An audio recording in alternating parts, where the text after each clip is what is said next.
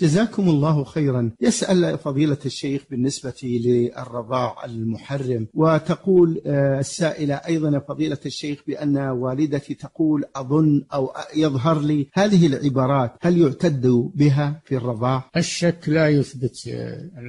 المحرمة في الرضاع حتى يعلم ويتيقن الشك لا يكفي لأن الأصل عدم الرضاع وأما آه، النصاب الذي يحرم من الرضاعات فهو خمس على الصحيح خمس رضاعات بمعنى خمس مصات خمس مصات يمص الثدي وينزل عليه أو يدر عليه لبن في كل مرة وذلك مدة الحولين نعم